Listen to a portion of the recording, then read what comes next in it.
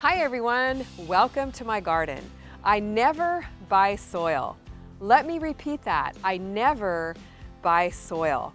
We all know that quality soil comes with a hefty price tag and is one of the biggest investments we're going to make into our gardens. Today I'm going to show you how to never buy soil, but different ways you can save your soil and save big bucks in your garden down the line.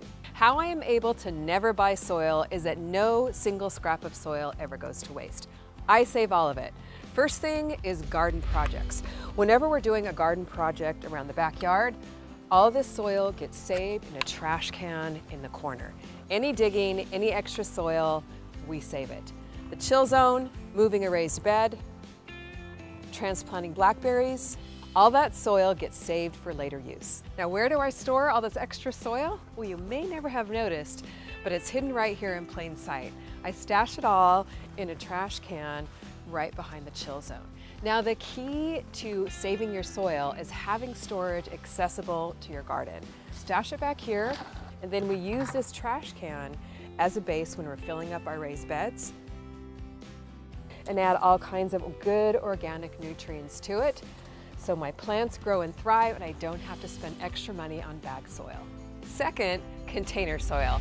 Never throw away any of your container soil. What I do is when the plants reach the end of their life, like they have here in this 20 gallon smart pot, I pull the plants out and then I take the container over to my trash can, which I have conveniently stored here next to my potting bench, and store all the soil in this trash can so I can save it for later use. And again, add good organic nutrients to it later. And if there's any big roots in your container, just pull them out and compost them. Then what I do when I'm ready to replant my container or transplant a little seedling, just bring my container over here to my trash can. It's super handy, right next to my potting bench here.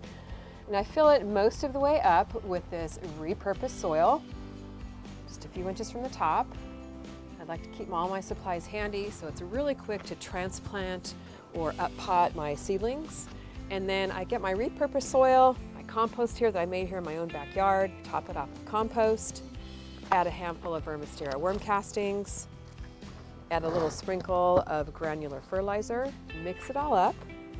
Now I have brand new refresh potting mix made from recycled soil. My container plants look great, are growing me a ton of veggies, and the best part is I haven't had to buy any bagged potting mix at all. If you don't have any of your own potting mix to save yet, just make your own. Watch this video for how to make my cheap and easy potting mix so you don't have to spend any money on bag mix from the big box stores. Number three way I save soil is from my seed starting containers. Let me let you in on a little secret. Some of my seedlings die and this is my plant graveyard. When they die, this is where things go and then I just grab my seed starting containers, pull the dead plants out, and then again, I keep a bin of soil handy right here by my potting bench. And handy and accessible is really key to saving your soil.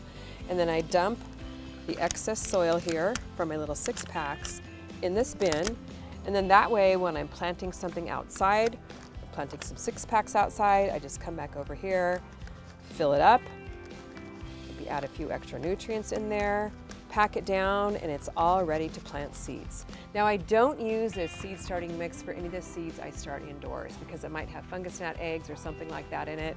This I reserve for starting my seeds when I'm doing it outdoors on my potting bench or on my deck rail.